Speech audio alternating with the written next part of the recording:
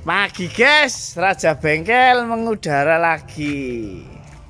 Nah, ini ngeban alat berat.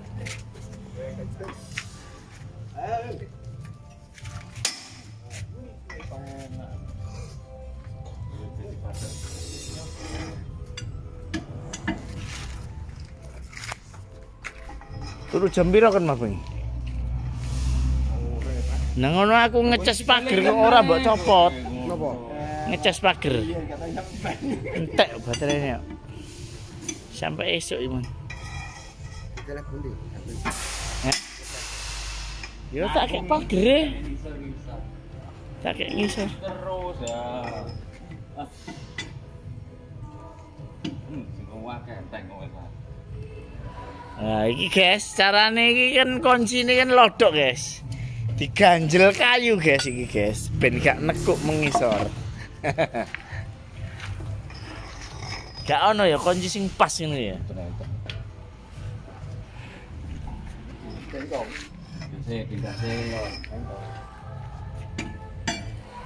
Karena unit sudah lama mangkrak guys, tidak pernah diban. Jadi bautnya seret-seret.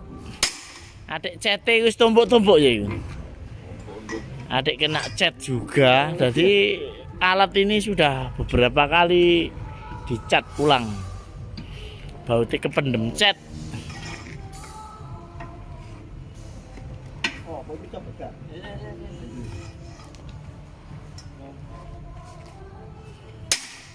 Oh,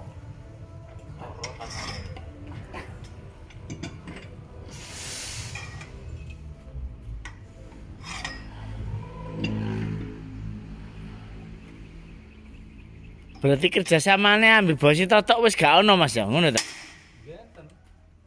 Alat apa? Bose toto kan gak tendem. Oh, diganti tandem. Teko teko ne bose ya, Wan.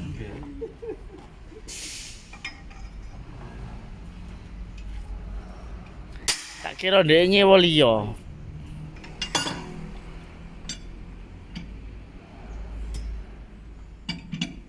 Lho, aku mengkate njaluk tensipe yo totok situk. Wah, aku ini duwe sak ben tak kene totok kabeh. Digawe-gawe tensip. Lali aku rek.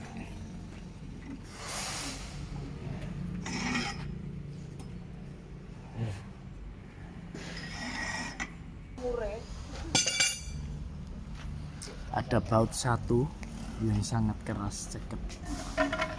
Tapi alhamdulillah akhirnya bisa setelah ditinggal di putar terakhir bisa. Eh, sebelah kiri gak dikendoni sih ah. Ojo didongkrak sih.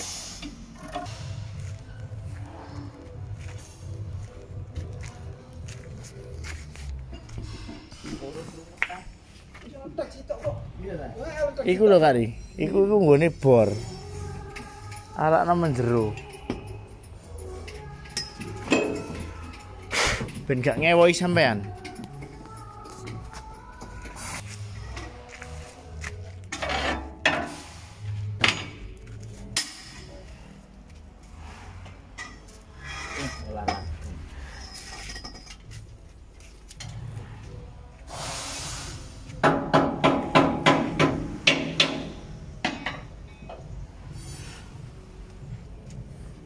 Ini kanopinya guys, model lama.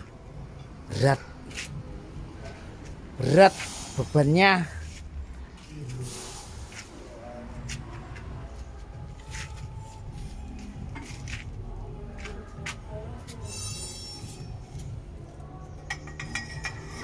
Ini yang sebelah kiri guys.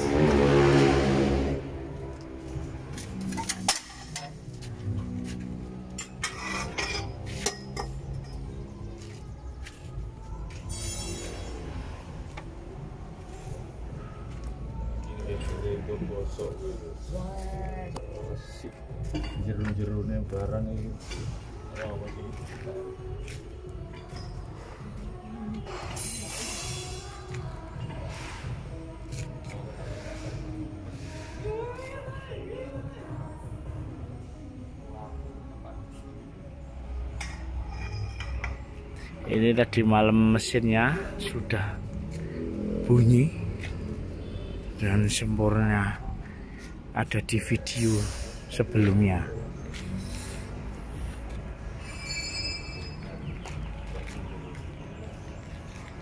Ini tangki minyak hidrolis. Minyak 10 perkiraan 80 liter plus selang-selang plus di motor-motor kalau habis dibersihkan. Seperti ini perlu sekitar 100 liter oli hidrolis kemudian nambah terakhir 10 liter. Kalau sudah lancar sudah jalan semua. Jadi 110 liter. 120 liter total